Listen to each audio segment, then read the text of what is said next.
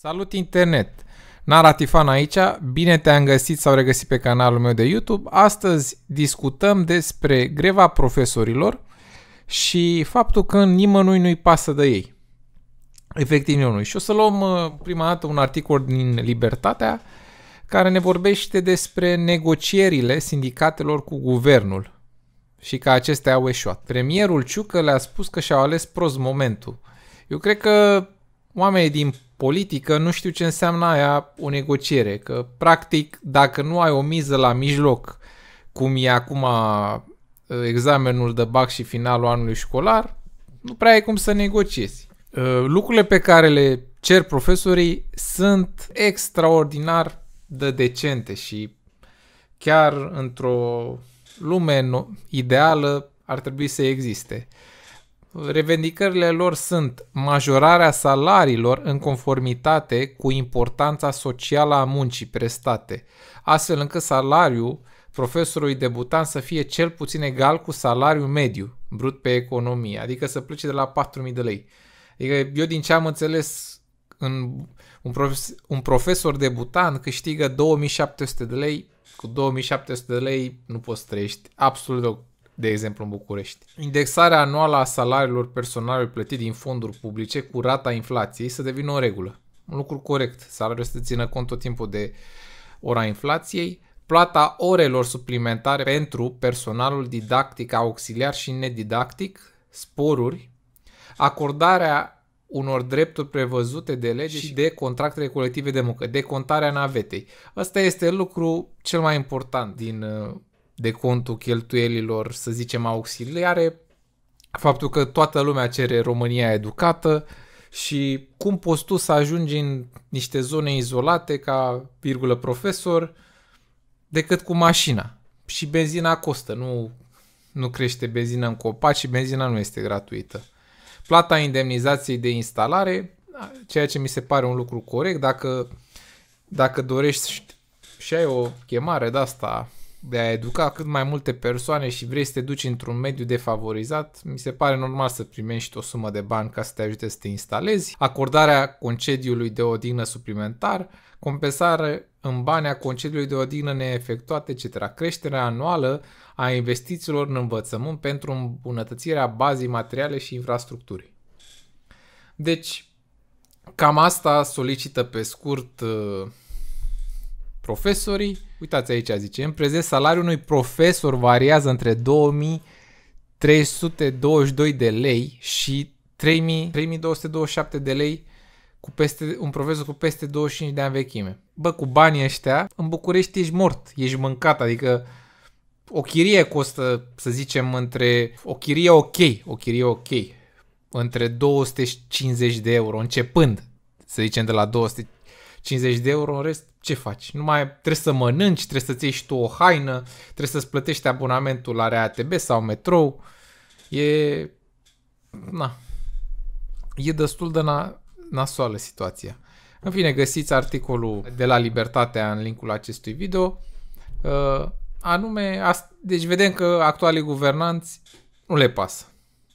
Acum, asta mi s-a părut cel mai tare, ce ne propune USR-ul, care din ce știu, e partidul aflat în opoziție. Deci ne propune o școală mai bună și soluții corecte pentru reforma educației. Și o să vă citesc câteva chestii care mie mi s-au părut uh, hilare. Deci astea, astea sunt uh, chestii pe care toată lumea și le dorește un sistem de educație cu mai puțină teorie și mai multă practică, adaptat secolului 21.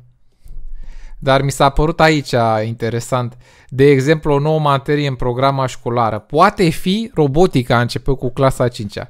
Uh, eu am făcut uh, școala generală în, în anii 2000 și pe vremea mea apăruseră deja cluburi de robotică cu plăcuțe din acele Arduino, adică chestiile astea deja există în unele școli. Asta, mi asta mi s-a părut tare. USR propune un sistem de educație în care elevii merg la școală de la 8 la 17. Bă, îmi pare rău să zic, uh, programul de la corporații de la 8 la 18, că ai o oră pauză de masă, adică, practic, ce faci? Vrei să pregătești elevul să fie corporatist, să lucreze de la 8 dimineața până la ora 5? Adică, care-i, care-i scopul? Pe lângă orele obligatorii, copiii vor mânca la prânz, vor face teme, dar și activități extrașcolare, teatru, sport, vizite la muzee, etc. Până în anul 2030 este timp suficient pentru a construi școli și a asigura spațiile necesare prin reorganizarea școlilor. Băi, oamenii ăștia sunt, sunt efectiv rupți de realitate. Rupți de realitate. Vă dați seama că nu s-au construit spitale în ultimii 30 de ani și ei deja gata, ne facem școli, reorganizăm tot. Incredibil. USR propune o lege care să garanteze siguranța fizică și psihică a copilului la școală. Ok? Toate școlile din România trebuie consolidate și avizate de ISU. Până în 2026, asta am înțeles.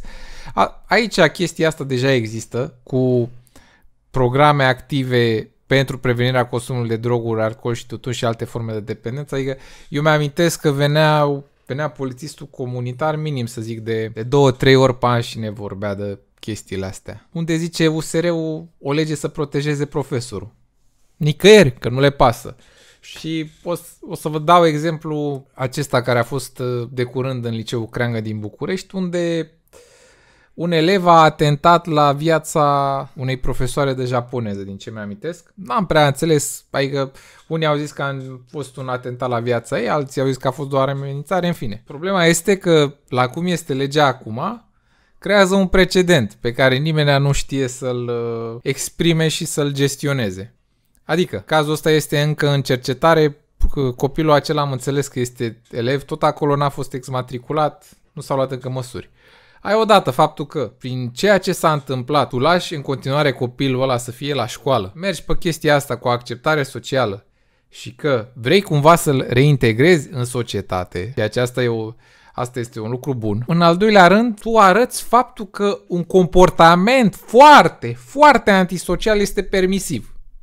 Că dacă, să zicem, nu pățește nimic și e în continuare elev la școala aceea, restul copiilor și elevilor vor vedea și zici, a, uite mă ce a făcut ăsta la profesoara asta și n-a pățit nimic.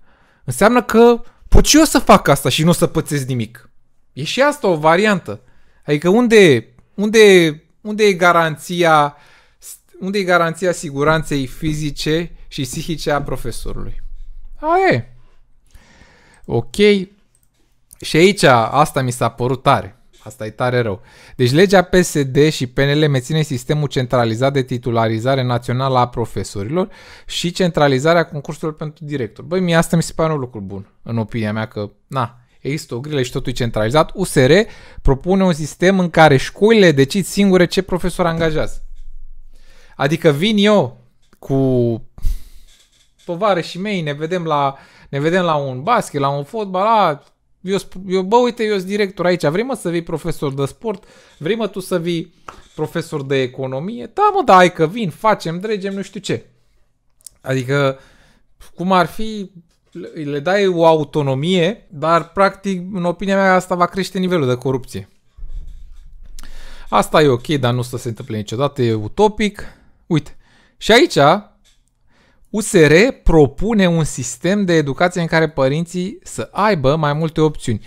Părinții vor avea posibilitatea să aleagă între școlile de stat și școlile private, iar finanțarea să urmeze elevul și pentru școlile ce urmează programe internaționale. Adică, efectiv, vrei să distrugi sistemul educațional care este gratis pentru toată lumea. Uh, e, adică, e, e logic. Și eu, când o să fiu părinte, dacă, să zicem, nebunia asta o să existe, că altfel n-am cum să zic, voi prefera o școală privată, că mai, mulți, că mai multe fonduri, clar. Adică, tu ce faci cu chestia asta? Distrugi și mai tare sistemul de învățământ și profesorii de lucrează la stat. Efectiv, politicienilor nu le pasă. Nu le pasă de profesori. Ok. Mai departe. Și acum ne lovim, cum îi zic eu, România reală pe care o găsim pe YouTube. Anume am dat uh, pe internet la știri înainte de grevă să vedem ce zic oamenii din România Real. Adică părerile sunt, cum să vă zic, unele comentarii nici, nici, nici n-am mai putut să le citesc, dar o să, o să analizăm câteva. Uite, luăm pe ăsta. Care e logica să compar salariul profesorilor cu cel al secretarului general sau cu cel al profesorului din Luxemburg. Pe o logică să vezi diferența socială între salarii, adică de-aia compară. După mascarada asta din învățământ, profesorii mai pretind respect. Sunt sigură că nu merită respectul nostru al tuturor. Cum ai zis, oamenilor nu le pasă. Salarii decente ne trebuie la toți, nu numai la profesori. Cum ăsta e tare comentariu. Când șoferii de autobuz din Japonia protestau, mergeau totuși la muncă și opreau la fiecare stație, doar că nu le luau bani călătorilor. Deci niciun fel de inconvenient pentru omul de rând. La noi în România profesorii se răzbună pe copii, nu pe statul român. Penibil. Păi și ce vor să facă, ce vrem să facă dacă nu ia nimeni în seama? Adică, uite, nu le pasă, nimănui nu le pasă de profesori. Ar fi bun un salariu decent și dacă rezultatele profesorilor ar fi decente. Dacă. Ce înțelegi tu prin rezultatele profesorilor? Când la examenele naționale să avem o promovabilitate 75%. Și uite aici, adică se vede faptul că românul e expert în orice. Examenele naționale nu reflectă decât o capacitate de memorare a unor informații inutile, să ne turui niște formule matematice nu reprezintă inteligență. Păi, cât de cât corect. Asta cu rezultatele exact uh, uh cum cum au spus și ăștia în legea educației, că mi-am amintit aici, USR propune salarizare mai bună pentru profesor, mai ales la, la cei început de care, în fine. A, asta mi s-a părut tare. Primele pentru profesor trebuie acordate în funcție de rezultate, dar să includă un mecanism de feedback de la părinți și la elevi. Adică, știi, știi care e chestia aici? Că dacă iei ești elev și e o notă proastă, vei da vei da un feedback uh, negativ profesorului până la urmă. Că și eu am fost elev și mi-amintesc când, uh, când luam o notă proastă, tot timpul dădeam vina pe cumva pe profesor. Nu aveam puterea atunci să mă uit în interiorul meu să văd că nu, nu învățam și nu prea, nu prea îmi dădeam interesul că eram cam copil. Mai târziu mi-am dat seama de valoarea școlii. E, asta mi se pare care sunt indicii ăștia de performanță, care sunt, că toată lumea vorbește și nu, nu, nu reușește nimeni să cuantifice sau măcar să fie ceva empiric. Nu, nu reușește nimeni, că nu le pasă. Nu-i pasă nimănui.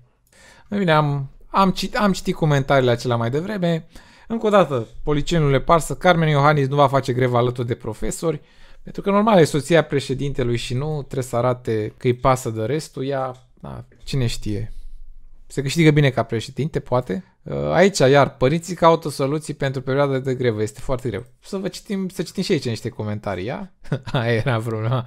Ce învață fita și fitul la școală doar să se ducă undeva, cât stai tu la serviciu. Bă, aici e adevărat, știi? Că foarte mulți. Adică, da, am observat că foarte mulți părinți și în online și ce au mai arătat pe la televizor își pun problema ce fac cu copiii în ziua aceea, dar nimeni nu și-a pus problema de ce învață. Într-adevăr, ăsta e un comentariu bun. Dar în pandemie nu fu panică, eu propun privatizarea, privatizarea școlilor. Fac greva având venituri lunare, venituri, nu salariu de bază, între 8.000 și 14.000 lei după veche. Prost pregătiți profesional și vor mai mult la meditații care le fac cu elevii lor din școală nu fac grevă.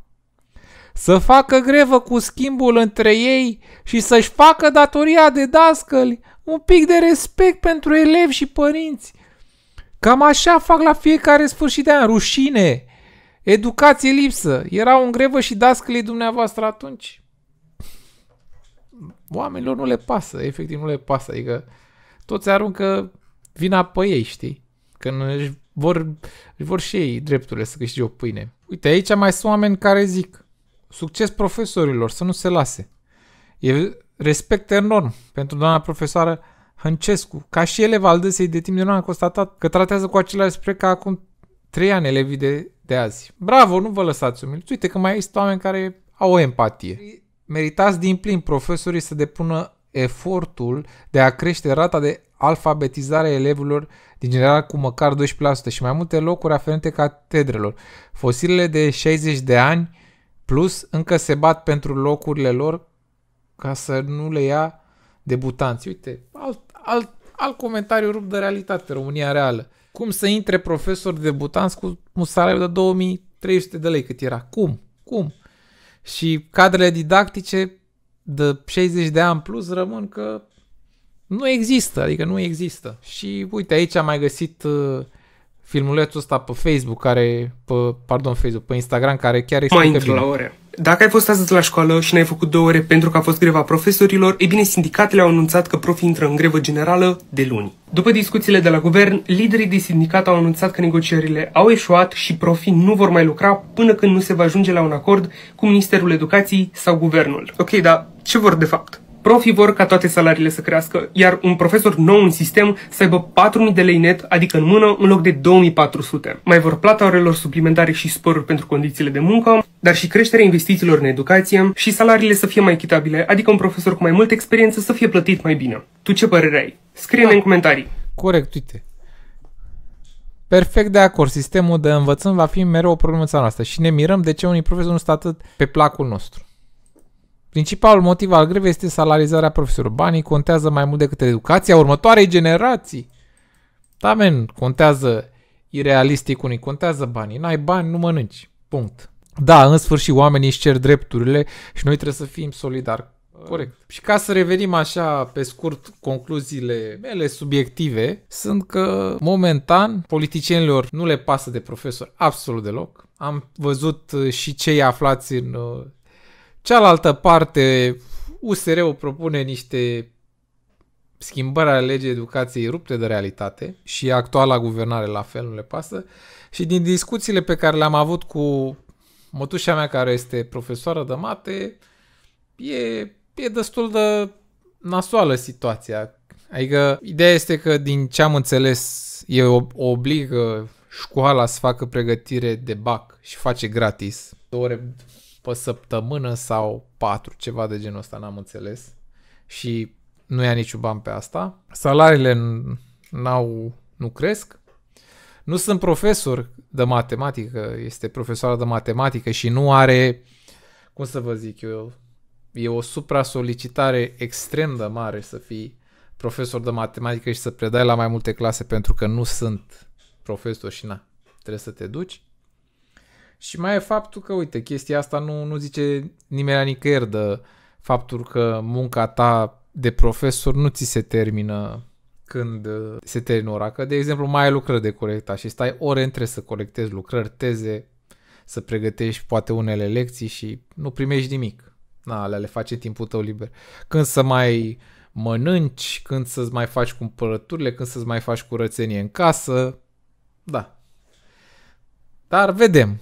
Vom vedea cum evoluează lucrurile pe parcurs. Eu sper să își obțină drepturile profesorilor.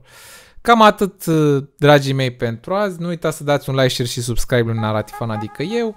Și până data viitoare, nu uitați, perfecțiunea nu există. La revedere!